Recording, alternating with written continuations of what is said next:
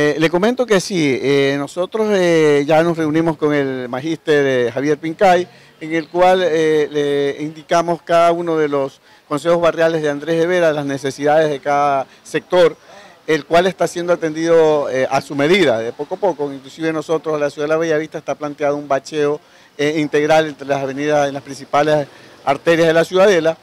eh, para los próximos días, o sea, a partir de este mes de octubre, noviembre, más o menos han de estar interviniendo la ciudadela. Lo que sí se está interviniendo ya es el, pintado de, los bordillos de la avenida principal, que, eh, hemos quedado todavía pues eh, a la mitad y, vamos en los próximos días a, completar todo el, pintado de toda la avenida principal de la ciudadela. Eh, en ciudadelas aledañas como la ciudad de San Jorge ya se lo ha hecho, se ha hecho todo el, pintado pues, de la, calle principal de la ciudad de San Jorge. Esto respondiendo a las necesidades de la parroquia Andrés de Vera y que por pronto está siendo atendida pues, eh, por el eh, ilustre municipio de Puerto Viejo en los requerimientos que nosotros como presidente gestionamos a través pues, de las diferentes direcciones que componen el GAT municipal de Puerto Viejo.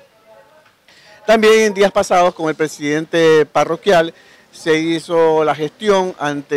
eh, la prefectura para la donación de unos árboles para recuperar eh, una área que habían deforestado por eh, cuestiones de, las personas que andaban invadiendo terrenos en la ciudad de la Colina de los Ceibos, que ahí la compañera presidenta, también estuvimos con ella, la presidenta del sector, conjuntamente con otros presidentes estuvimos viendo los, a ver los, árboles en el vivero en, la, en Lodana lo cual ya lo tenemos a buen recaudo y estamos esperando pues eh,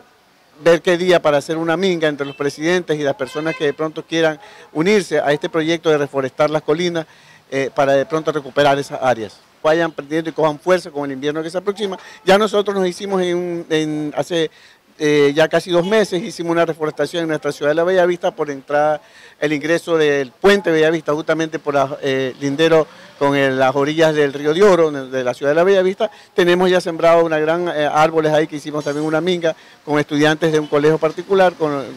con los colaboraron y con el municipio también, con, con medio ambiente y riesgo. El, ingeniero Briones nos ayudó también ahí con, eso. Entonces ya los arbolitos están prendidos, le comento, porque todos los sábados los regamos, los regamos para mantenerlo, que prenda. Llega el invierno y ellos se van, solo.